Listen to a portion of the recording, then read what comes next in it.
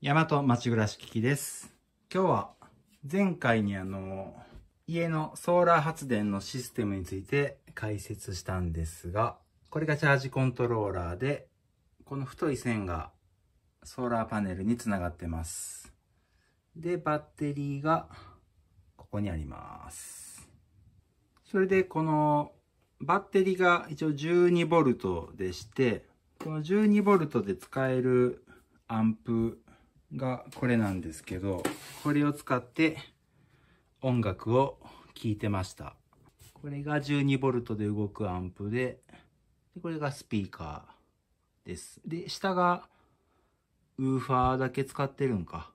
あ、そうそう、この 12V で動くアンプはウーファーも使えるんで、それで聴いてました。それで、その前に使ってたやつがこれか。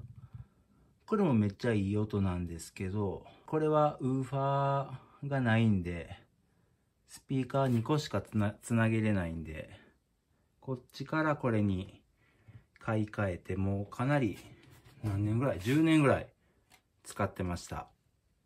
それでまあ、これにスマホを挿して、サブスクで音楽を聴いてるんですけど、線を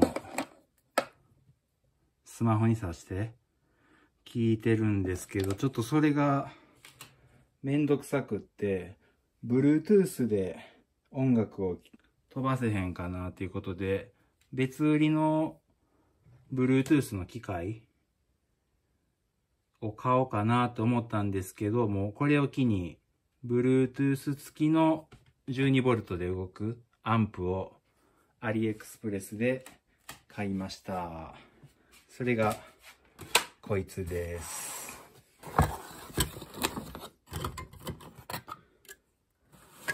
こんな感じになってます。ちょっとこれなんか組み立てちゃったんですけど、まあ組み立てるってもこのパネルネジでつけて、このつまみを差し込んだだけなんですけど、この ZKMT21 っていうやつを買いました。値段の方が1700円ぐらいでした。で、もっと安いやつもあったんですが、このウーサブウーファーが使えるやつはちょっと値段がして、まあ、それでも1700円ってめちゃくちゃ安いんですけど、これを買って今日はこれにつなぎ替えて、なおかつあれか、Bluetooth がちゃんとつながるのか、ちょっと試してみたいと思います。はい、つながりました。LR とサブウーファーと、ここが DC12 から 24V までいけるみたいなんですけど、12V です。ここの、はい。シガーソケットの挿すやつから、こんな感じになってて、これを挿してます。これのサイズがたまに違う時があって、入らん時あるんですけど、もともとこういうのもついてて、このまま赤と黒の線をつなぐやつもついてます。これめっちゃ親切です。ちょっと安いんで横とか剥き出しになってます。それではスイッチを入れてみます。こいつか。いっちゃん右がスイッチで全然場所があれば。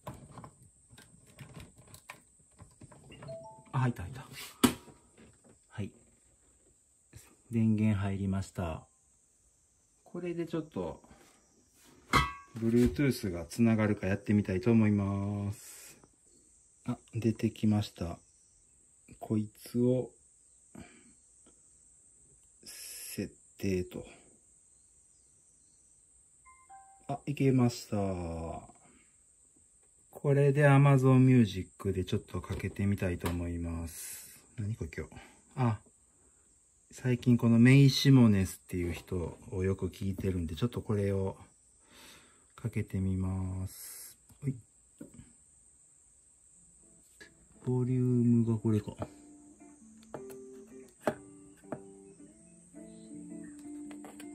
真ん中ぐらいにしとこうか。よくわからんけど。サブウーファーがわからんか。まあとりあえず真ん中ぐらいで。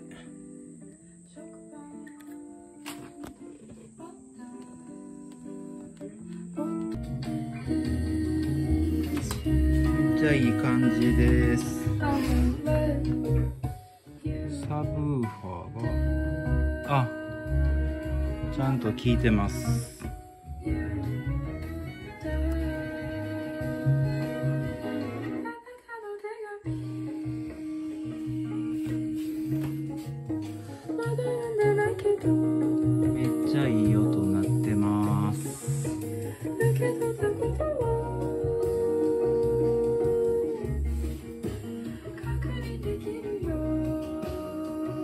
めっちゃ音良かったです。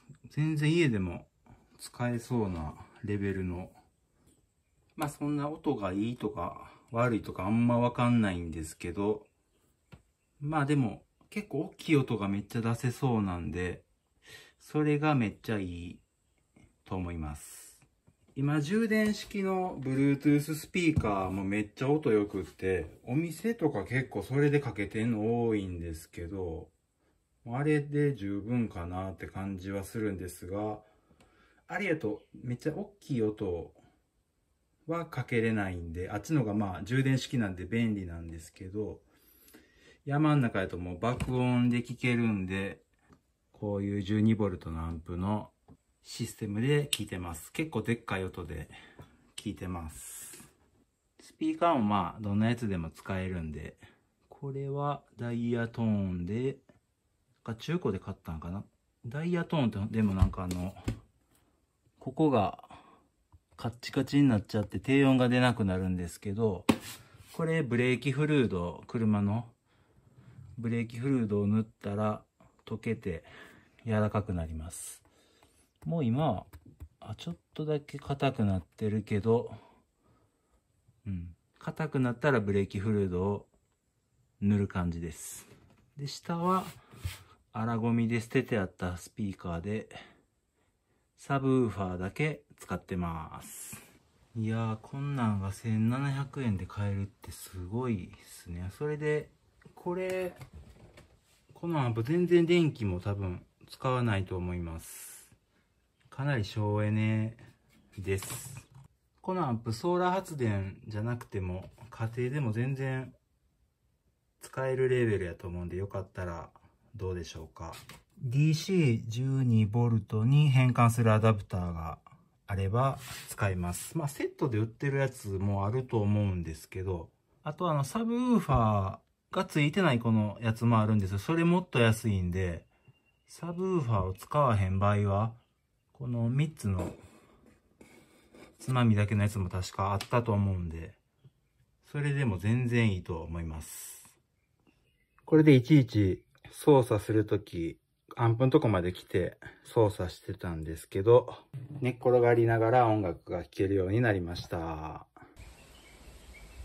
周りはこんな感じなんで、まあ、騒音というか音は、音問題は全然気にしなくて大丈夫なんで、これからあのアンプを使っていきたいと思います。それではご視聴ありがとうございました。